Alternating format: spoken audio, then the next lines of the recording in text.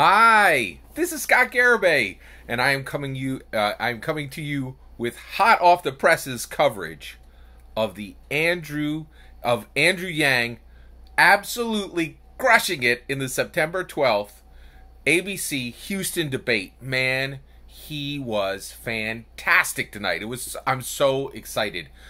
I'm just so excited. I'm like, I just danced a jig. I'm like so like I had a celebratory dance after it was done. I am so excited about what is happening right now in American history, and I am super excited to share my thoughts with you about Andrew Yang and how he won, fully won tonight's debate. So let's talk about it. All right. So it is incredible what happened this evening. So first of all, I just want to take a moment. Like, I was born in 1970, right?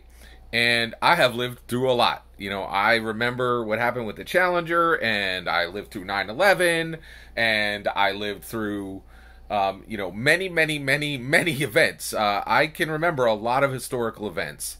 And uh, I will tell you right now, I have never seen anything like this because I think what's happening right now is we are seeing the momentum of having our first tech savvy president uh, restoring a president to the White House who will care for every American, not just a few Americans, and having an, a president whose in whose intellect will match the needs of the times. I truly believe that within my lifetime there has never been a president who has even remotely approached Andrew Yang's level of intelligence. His ability to embrace non-intuitive ideas, his ability uh, to think about the the bene- the goodwill for this nation at the macro level and for the world. Like that's the other thing is his ideas are so big that I think that not only they're going to fix America, they're really going to set a model for government throughout the world. It's truly incredible. I am so excited. All right, so let's talk about how and why Andrew Yang won, absolutely won without a doubt, crushed uh, his performance tonight, and is continuing a non-stop downhill momentum roll, right? Down a mountainside, right? Like it's like his momentum is just picking up so much speed and I think he's going to he's going to destroy anybody who gets in front of him at this point, right? Because first debate, second debate, third debate, better, better, better, better, better, better, better. Like he is getting better with every single debate. Let's talk about what he did tonight. First of all, the second he walked on the stage, he beat 12 losers, right? So let's talk about the losers he beat, right? He beat Gabbard, Williamson, de Blasio, Steyer, Bennet, Delaney, Bullock, Ryan, right? That those people are still like still in the mix. yeah, I guess, right? And then in addition to that, Swalwell, Hickenlooper, Gillibrand, Inslee are gone. They are gone. Right? Like out, right?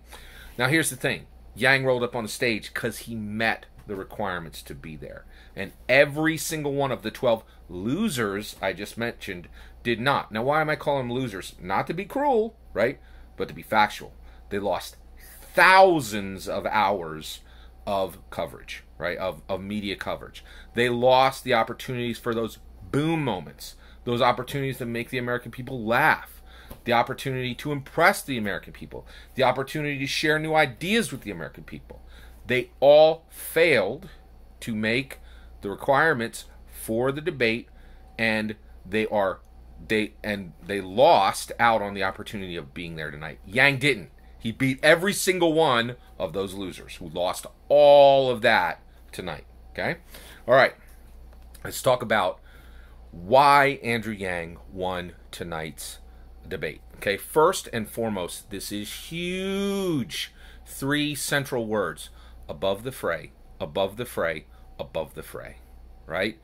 No no savage attacks on anybody, just talking about here's my ideas, here's I'm going to make the lives of Americans better, here's a new well we're going to get to the new idea in a second, but above the fray while the rest of those 10 candidates bickered and sniped and attacked each other, Yang was like, I'm above the fray. I got things that are important to say. I don't have time for disses and insults and denigrations and and and pettiness. And I don't have time for it, right?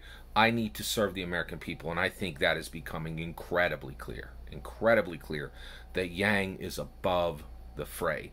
All the other candidates are right in the mire, right? The mud is slinging, right? And it's like I ain't got time for it, right? All right. So, so, and I'm specifically talking about between Yang and the other candidates on the stage. Didn't take a moment, right, to to to do anything except present his own ideas and say, "This is how I am distinguished. This is how I'm going to make your life better." And it shows his focus, and it shows his genuine care for the people of America. He's literally saying, "I don't have a moment to insult any of these people on this stage because I got too much to accomplish for you as an American. And I take your goodwill. I, I, I take this, your state of humanity is more important than me saying mean things about these people. Incredible. All right. Tonight, we saw a new person arrive within Andrew Yang, right? So tonight, we saw Andrew Yang, the stranger. Now, what do I mean by that, right? Well, there's a fantastic film if you haven't seen it. It's old. It's okay if you haven't seen it. It's called The Good, the Bad, and the Ugly, and it starred Clint Eastwood. And he played a dude called The Stranger. He was so cool he didn't even have a name, right? Like, so it's a spaghetti western. It's one of the best American films ever made. I know it's made by Italian people, right? it was absolutely fantastic. And um, and here's the thing, The Stranger does not speak many words, right? He just lights a whole bunch of stogies uh, like um, you know wears wears iron at his side and just looks cool throughout the film. Has a super dope draped like poncho. He's just cool through the whole movie, right? And Andrew Yang showed up as the stranger tonight. He didn't say a lot, right? In fact, I wouldn't be surprised to see if he was one of the people who spoke the least tonight. Did not hurt him a bit. Here's why. Just like the stranger, we are now seeing Andrew Yang has figured it out. He's like, okay, media blackout, Yang media blackout. It's a thing. We're fighting it. So how do I make it work for me? Here's how you do it. Every time you open your mouth, you make your words matter. Boom!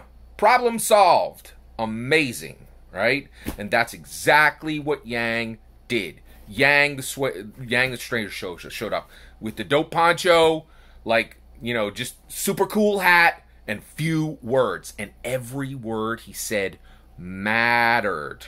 Mattered, right? Every word every word he said had freight. Every word he said had meaning. Every word he said had consequence, right? Unlike so many candidates on the stage whose words were meaningless and carried no freight and were shallow echoes, right? But not Yang every word coming out of his mouth matters like the strangers. And when he talks, there's a hush. There's a hush, right? Because they know he doesn't fill the air with nonsense like the vast majority of the candidates on stage. All right. I can't believe what else he did. UBI as a given. He didn't even talk that much about UBI tonight and it was brilliant, right? You know why he didn't? He's already set the bar. He's already set the stakes in the ground. They're already there, right? He doesn't need to tell people about UBI anymore. He's done that work, and he can show I'm more than UBI. Incredibly exciting, right? He hit it a go. You know, like he didn't even really need to pound those stakes again. He's already set them in the ground, right? All right. Biggest one of biggest moment of the night for Yang. He said, money finds a way. It washes and and and when when that corporate money comes in, it washes out all the mo- the money of the people in this country who matter, right? And he said, and that's why I'm going to do people people powered money. I'm going to do $100 democracy dollars. Give it to every single American, right?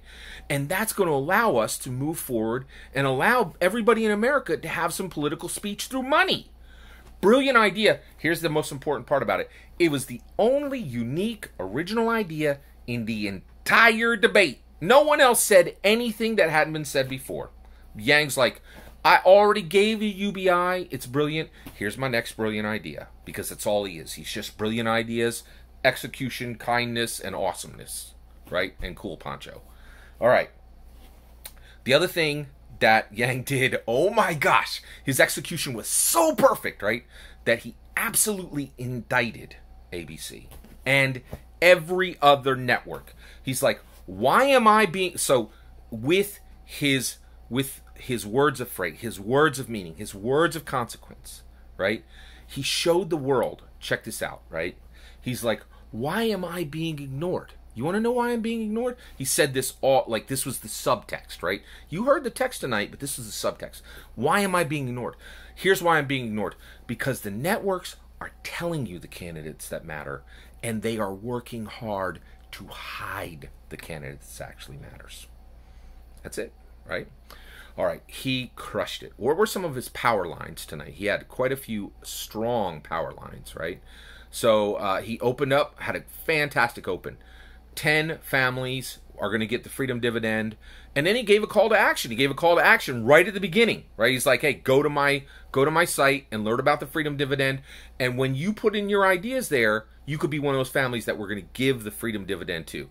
And that was a lot there. So one it was a cool call to action which leaders do call to actions. They're tough. It's hard to but he did a good job with it. And then the other thing is he was like he was saying i'm going to make things change. And i'm, I'm doing that literally right now right? And so I thought it was a really good start. Uh, and then also, it was reminding everybody that UBI is a call to action. A lot of people forget this, but when you give somebody a thousand dollars a month, they need to do something with it. So UBI itself is a call to action, and that's why Andrew Yang started with a call to action. He's going to be calling for the people of America to change things, not just him. Brilliant, brilliant, brilliant, brilliant, brilliant. All right. Uh, he had a really funny line. He said, I am Asian, so I know a lot of doctors. I laughed out loud at that line. I thought it was funny. You do need to make the people laugh every now and then. Uh, he he had some great ones. He was like, "Let's make this nation work for us, not us working for it." He said, "We are the owners and shareholders of this democracy." He talked about immigration. He said he talked about how immigration brings America social dynamism. He said, "You know, immigrants can come here and their children can be our president." Amen to that. Amen to that. Right. Uh, and also, I thought he was one of the few candidates that really talked about immigration beyond Mexico. Our, our immigrations are bigger than, than Mexico. Trump has been pointing at a wall, you know, for Mexico. It's like the only country that, that immigrates here. Where's the where's the Canadian wall, right? Like you, ne- you never hear him talking about that, right? Like, so I thought that was really cool. He he he he, he drew the scope of immigration larger and broader than Mexico's because it is, right? Uh, he got a great question, which was tariffs on day one. And uh, he, they said, "Hey, are you going to drop the steel tariffs on day one?" He's like, "No, right?" And, and then he rolled up hard on China. He's like, "They steal our intellectual property." And I just had a buddy over there who said that um, that on their machines they have thousands of dollars of our software, and I thought it was great. I thought I, I think it's really cool that he's calling out China. He's showing his strength on China. Fantastic. All right. He also said we as Americans need to own what we can't, what we can and we cannot do. He says we're not good at rebuilding countries. Totally agree with that. We should not be rebuilding other countries, right? He said, uh, trust to make. Uh, he said, trust me to make the right decision about where our young men and women are deployed. I will trust him. I'm ready, right? And I think you guys are too. All right. Uh, oh, one of the best lines he gave all night. Teachers are worth their weight in gold. Absolutely. They are totally worth their weight in gold. Um, and then finally, there was a resilience question. Resilience question was the best question of the night. He knocked it out of the park. It was a perfect answer, right? He the resilience question was where have you shown your resilience because when you had a professional failure a professional failure a professional failure right like they were like this needs to be about your profession right and he's like yeah i had a and he told he answered the question dead on did not waver for a second, right? Answered the question dead on. And he used the question to tell a personal failure he had um, as soon as he had gra- graduated college, right? And he told, and he he he said, "Hey, I've had failures, which I love failure personally. I'm Scott Garibay. I'll tell you right now, I, I, love failure because you get benefits you never expect from them. And if you're not failing, it just means you're not trying anything of significance, right? So, and guess what? Andrew Yang tries things of significance. All right, so check this out. And then he told his whole story, except education, right? Uh, he carefully hid the fact that he's double Ivy League, super dope, awesome, intelligent, right? Because he graduated Brown and Columbia, and I'm so and I'm sorry I keep saying that because I won't, I will not shut up about it, and it probably should be hidden from Americans, right? Because like he's super well educated, right? And that does distance him from a lot of Americans. But like, so I don't like that. That's that was hidden, but he was right to hide it. So he hid his education, but then he talked about his corporate uh, successes and he talked about his benevolence, right? But only after he told about a real story of failure. He knocked it out of the park. I was so excited to see what he did tonight. I'm just over the moon, and I cannot tell you how excited I am to see our country hurtling toward a president of con- a president's a president of consequence. I truly believe, without a doubt, Andrew Yang will be our greatest president since Abraham Lincoln. Right? Abraham Lincoln, Andrew Yang. That's that's it. That's like George Washington, Abraham Lincoln, Andrew Yang. That's American history in six words, right? And that that's the best of us, right? And I am super super excited to see Andrew Yang slam dunk this primary, slam dunk a victory on uh, Donald Trump. Andrew Yang crushed it tonight. And I am super, super, super excited at the absolute freight train momentum he is showing. Thank you very much for letting me share these ideas with you. I would love to hear what you think. How do you think he did tonight? Let me know in the comments below, please. Please consider liking and subscribing, and have a wonderful millennium. Oh, one more thing, sorry. Uh, I have so many thoughts about what happened tonight, and I just talk, talked about Andrew Yang, right? But I'm going to do a second video tonight, right after this one, right? And talk about how every other candidate gained or lost ground against Yang. Because Andrew Yang owns the world. We're just living in it. like, okay.